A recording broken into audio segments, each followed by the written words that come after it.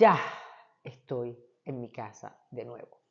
Los que me siguen y han vivido conmigo este proceso, tuve que irme de mi casa por unos días porque apareció mold, eh, hongo aquí en mi casa. Eso es peligroso, es algo que hay que manejar.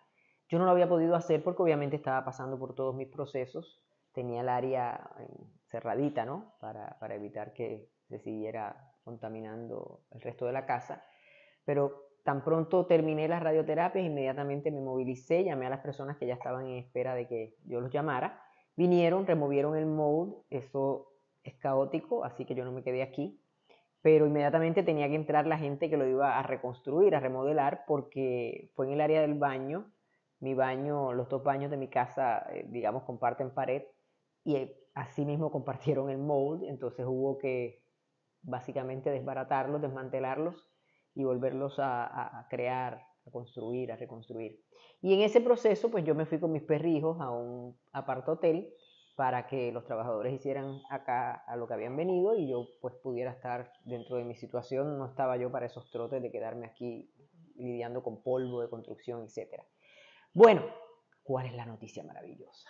Que estoy aquí en mi hogar, todavía no se ha terminado, pero ya la señora que me ayuda y yo le dimos durísimo ayer y ya por lo menos está vivible. ¿Y qué pasó eh, después? Bueno, no después, diría yo que durante. Durante este proceso yo como siempre hago, presto atención a ver qué aprendo y aprendí que esto hace la gran diferencia. Vivir en positivo hace que tú siempre termines siendo un o una sobreviviente. Y yo creé esta tienda, como ustedes saben, que les agradezco muchísimo el apoyo que le han dado, que han ido a comprar, pero ahora me di cuenta más de lo importante que había sido yo crear este, esta oportunidad de compartir lecciones de vida a través de los mensajes.